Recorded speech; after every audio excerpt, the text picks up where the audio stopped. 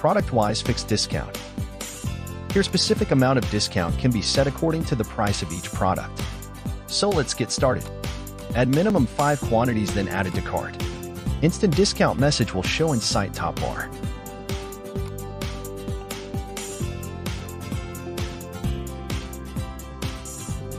Estimated total price and discounted price will be displayed on the cart page.